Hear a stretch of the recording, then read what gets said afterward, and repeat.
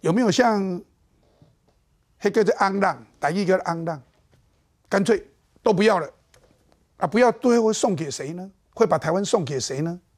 那显然很可能会送给共产党。所以，我们看一下花东快环岛高铁相关的一个争议的报道。国民党团总召傅昆萁提出的花东快速道路特别条例等三个交通建设案，预计周二院会表决。民进党团在开记者会，痛斥几兆元的预算，只花几分钟的时间就送出委员会。傅昆萁，我们呼吁他赶快下车，但是没想到黄国昌民众党急着上车，掏空国库，债留子孙，这样一列失速列车，绑架国会，来逾越了程序的正义。争取今天下午的协商充分讨论，因为协商是一次补进度，是一次补课的机会。能够在做协商的时候，民进党你们拿出具体的办法，我们才有实质讨论的空间。如果说到现在还是想说这就是一味的违宪，而不愿意正视，或者是不愿意倾听民意来建设台湾的话，谁才是耽搁台湾建设发展的罪人？蓝营反呛，绿营跟行政院都没有版本，协商要怎么讨论？绿营则痛批，拐个弯监预算就是违宪。民进党团总召柯建明更发文，质疑立法院不能剥夺行政院长编列预算的权利，而且环评跟可行性评估都没有做，又如何在傅昆萁要求的十年之内完成？但傅昆萁跟黄国昌再度重申，特别条例就是为了交通平权。而在民国九十年跟九十五年。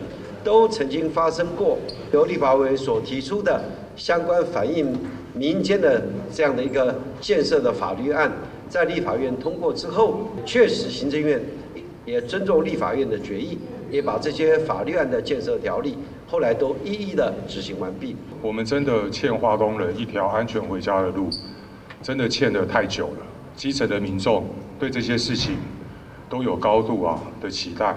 台湾民众党党团。所提出来的修正动议，是希望用一般的公务预算逐年的来编列，希望他能够透过个案计划严格的审查程序，呃，比较不适合用特别条例直接来处理啊。行政院这边会来提出一样吗？哎，这可能留给行政院这边做决定，甚至可能是是不是下一个内阁来决定了。即便还没三读，已经有民进党立委希望行政院用复议案挡下特别条例。可以预期，新内阁刚上任，马上就有重大的政治考验。花东快环岛高铁，宪法规定嘛，立法委员不得为增加预算之决议，不得为预算增加预算的决议。就他利用这一些立法来逼行政院为增加预算的决议，这个显然是违宪嘛？怎么来看呢？对，其实这三个案子哈，这个预算超过上兆哦，那结果傅昆萁他说呢，这三个案子不管是化东快。环岛高铁规定行政院十年之内要把它完成，哦，然后要求这个行政院哈要编列这个预算。那整个这个三个法案呢，在交通委员会哈讨论，三个法案加起来没有超过十一分钟。现在国民党的策略就是这样子，他也不在这个委员会哈跟你讨论。那反正呢，如果有意见的话呢，傅昆萁就说送这个朝野协商，送朝野协商。然后送朝野协商冷冻期一个月之后呢，他就要求在国会就要表决。因为他们现在已经尝到甜头了嘛，他发现说国民党跟民众党合起来在国会的表决可以赢过民进党，所以他们现在完全不在各个委员会里面讨论了，连这个最尊重和过去的这个黄国昌就是说啊，这个委员会审查中心主义一定要在委员会好好的这个审查，结果呢，这个黄国昌也是一样，在委员会里面也不审查，那完全交付朝野协商，就在国会呢就直接一场就直接表决了，那这个已经是哈国会的独裁霸凌的行政权。因为刚才又给我提到啊，立法委员你不能为预算是增加嘛？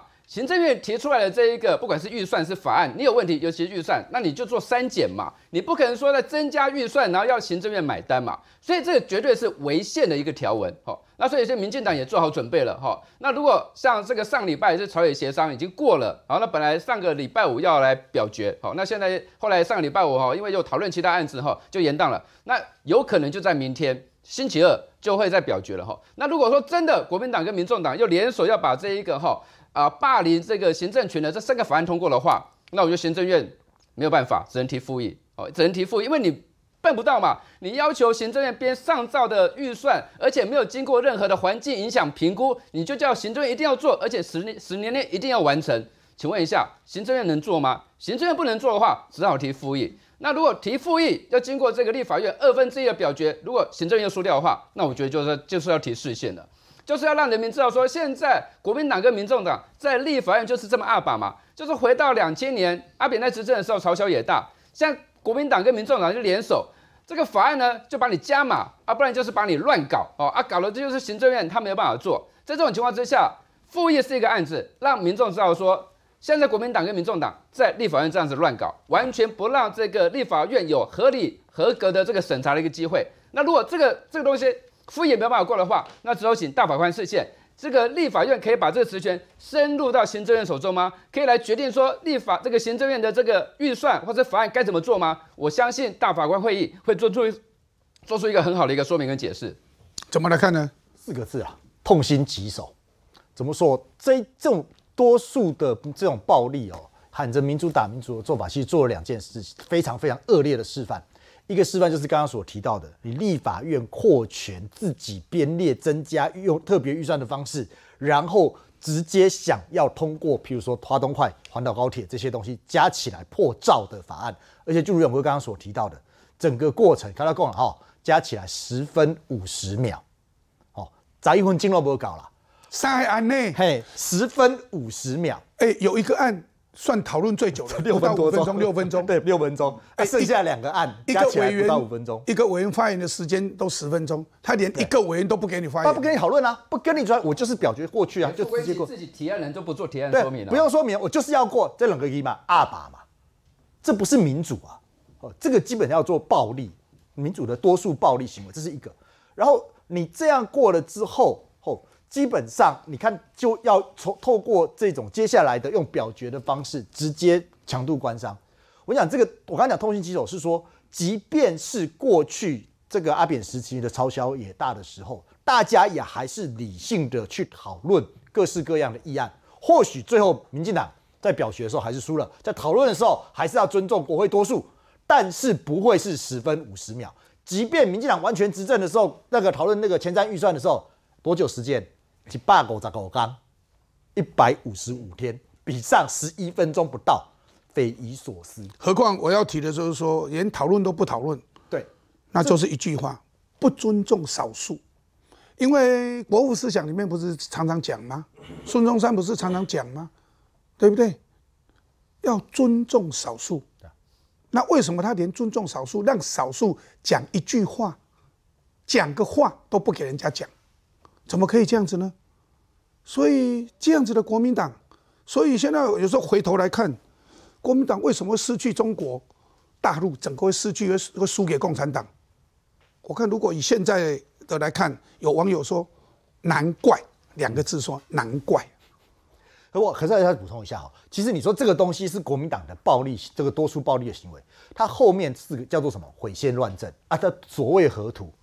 看起来好像就是说啊，就到时候做不了，民民问题都是你民进党的。可是真正损失倒霉的是人民了，真正造成整个台湾的运作的瘫痪，是你用通过这种国会包税。那谁最谁最高兴？北京嘛。所以难怪有人会说，傅昆奇去中国的时候，他要报告的说，我们已经启动了用国会瘫痪民进党政府的第一步。看起来现在就在做这件事情，那就是送给共产党吗？对啊，谁共产党天天想要打台湾，谁想看到嘛？所以，今晚，不过另外，南宁有一个有一些人不太同调哦。我们看看哪一件事？卢秀燕、江启臣将出席总统就职典礼。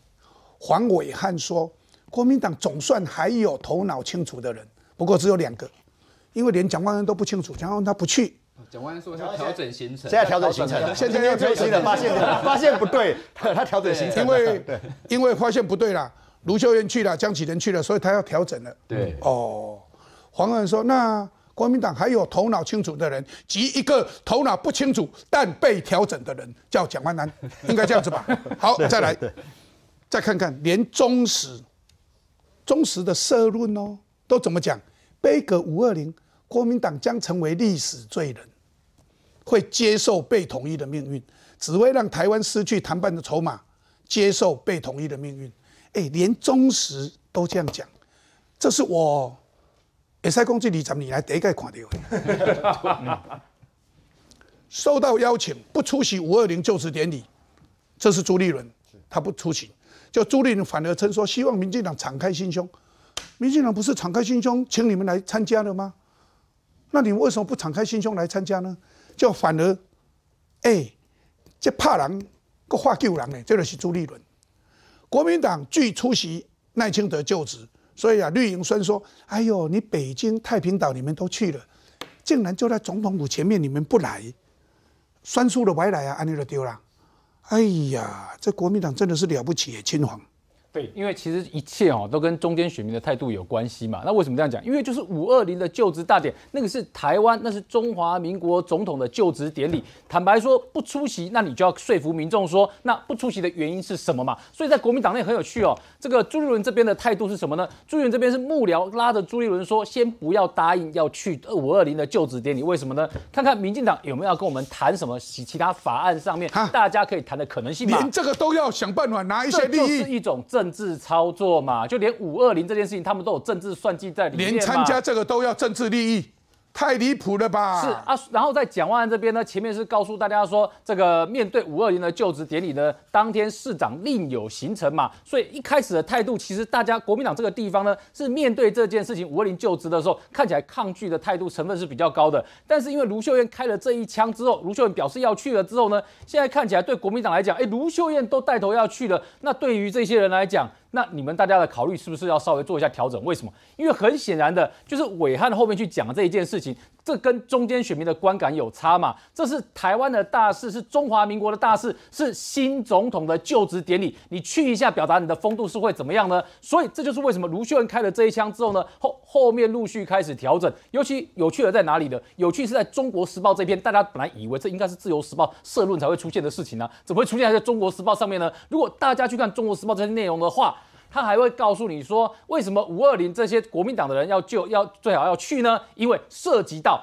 大是大非，我讲得很清楚呢，大是大非呢。那所以呢？这一篇好像是在讲说，如果国民党的人没有去五二零就职典礼的话，你们这些人没有大是大非；蒋万安如果没有去的话，你没有大是大非；如果朱立伦没有去的话，你也没有大是大非。哎，这边社论的反过来反过来讲的意思其实是这样子呢。所以这个也是为什么哈？你看到这个蒋万安的态度呢，开始做了调整。好，请这个幕僚来看看当天的行程有没有可以另外再做调整跟安排的。那朱立伦这边看起来呢，话也没有踩得那么硬了。所以呢，看起来国民党的方向呢。开始做了一些调整，因为卢卢秀燕开了这一枪出去，但这也有另外一个讯号是，卢秀燕开了这一枪呢，跟二零二八很显然是有关系的，因为考虑到中间选民的观感的问题。那另外一个是中实这一篇导师今天很多人都在讨论，为什么中实开的这一枪跟过去他的评论的方向看起来是不太一样。然后中实这一篇让大家觉得错愕的是说，他的方向是说，如果你们国民党选错方向的话，就会被统一。哎，奇怪，这怎么好像跟中实过去的这个？主张稍微不太一样，而且是在社论里面的主张。但是不管是哪一种，它终究内容里面用了“大是大非”这四个很重的帽子扣上去。所以很显然，现在国民党内呢是要跟着“大是大非”走，还是跟着没有“大是大非”走？这个对他们来讲呢，这几天很快我们就会看到他们的选择。嗯，我们把重点念给大家听，这是忠实哦，忠实哦，忠实哦。政党激烈竞争，相互背葛都可以理解。但背个五二零就职典礼并不适当，蓝绿恶斗造成台湾为反对而反对的政治文化，这就是国民党啊！这就为反对而反对，显然就不是忠诚的反对党。好，不但阻碍国家进步，更危险的是撕裂的台湾如何面对中国武统的压力呢？一个分裂的台湾只会让台湾失去谈判的筹码，接受被统一的命运。所以换句话讲，大家知道哦。国民党现在在阻碍国家的进步哦，连中实社论都这么讲了哦。Thank you，看下呢，因为 我这立院荣誉顾问嘛吼，所以表示讲咱有迄个有些个有经验嘛吼。嗯，我我我嘛立院荣誉顾问，个个最高顾问的。确实确实。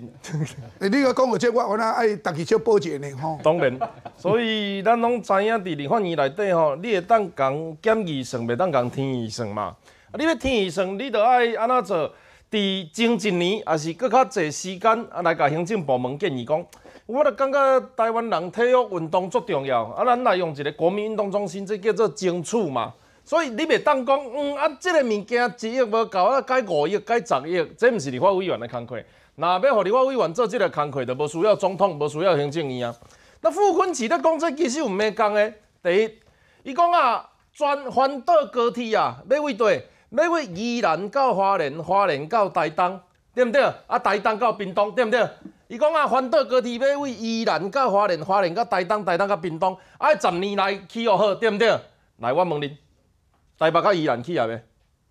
啊未啊？高雄到屏东起啊未？拢啊未啦。啊未，所以即摆是要台湾要分两节，即因为即十十年来爱起嘛。啊，即两节还搁咧评高烧的，有诶无诶嘛？可行性，啊，搁环评，啊，搁安那嘛？所以以后咱的台湾高铁会分两条，敢是安尼？嘛无反倒啊，因为迄两边都还未决定的啊。所以这第一无可能嘛。第二，伊讲啊，若台湾的厂商做袂到，伊讲要开放国际标，有无？啊，国际标什么意思？我来讲，中国来做，有一个政策，著名叫“一带一路”。中国来做，一寡良好的国家，中国毋是甲你做尔，搁兼帮贷款互你开。啊啊，到时贷款还未出来，佮拢破产。还袂出来，迄支伊个，斯里兰卡就安尼啊。对啊，还没出来，伊若去机场，机场伊个；去港口，港口伊个；若去高铁，高铁伊个。以后东部的铁路交通啊，互迄个互阿强啊管，安尼敢袂？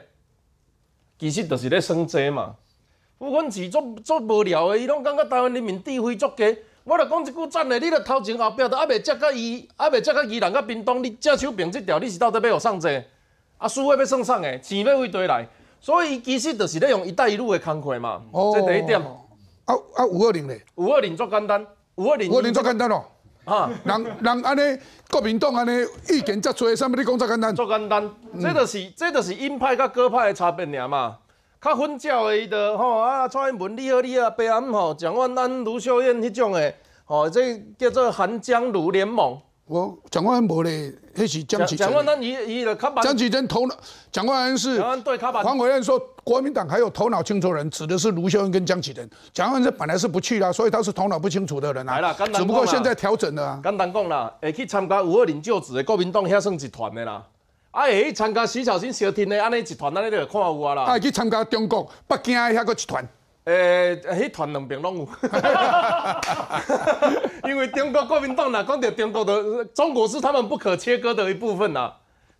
中国是中国国民党不可切割的一部分。对啦对啦。啊，无逐工叫伊改名，叫台湾国民党伊也无爱，叫中华国民民国国民党伊嘛无爱。中国是国民党，伊嘛无爱啊。所以中国是国民党无法切割的一部分，所以因逐个拢有。但是伊即马鸽派甲鹰派就是讲，鸽派就是我，阁有要想要选的嘛。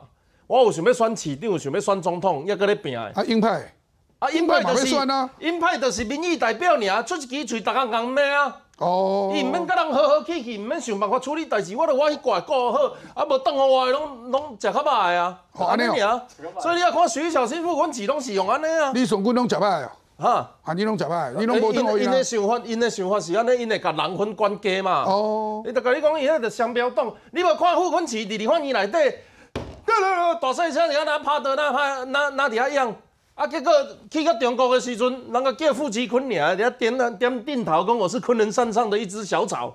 你刚才这件代志，讲伊说我是昆仑山上的一只小草，因为那简体字吼无昆萁这两字啦，伊个问迄个。迄个国台办，迄个诶，毋是国台办啦，宋涛哦，王王什么啊？王富林啊，王富林啊，王富林问阮启讲啊，你昆奇啊，这两字什么意思？伊讲我是昆仑山上的一只小草。讲到这吼，我讲我你笑啦，有一个很有名的反共作家啦，嗯，好，伊把伊较早原来是红卫兵啦，参加过共产党啦，咧中国啦，伊写一篇文章啦，伊写一篇文章讲哦，共产党拍过一部电影啦，叫做《昆仑山上的草》。然后呢，昆仑山上的草，这一这个是共产党的电影哦，在颂扬共产党。迄个时阵啊，傅昆萁一九六四年的款，应应该是一九六四年出生的。一号，迄号名叫做傅昆萁。我甲你讲，昆萁这两字，国文八的人伤少。迄阵啊，若周介石知影讲昆萁一出世的时候，拄多迄年国共产党有一部电影，叫做《昆仑的昆仑山上的草》。刚好共产党拍这部电影，就在傅昆萁出生那一年，而且是在大力的颂扬共产党。这个时阵，你去配合共产党取名字叫做昆仑，就是昆仑山上的草。我跟你讲，现在蒋介石怎样哦？绝对枪毙了。我怪国民党的苏家走来台湾，连党内有这个阿强啊，这个派来干掉，有这个昆萁啊，竟然无处理掉，莫怪齐坤啊，这闹亏。齐坤。啊，人迄个黄固林叫伊齐坤。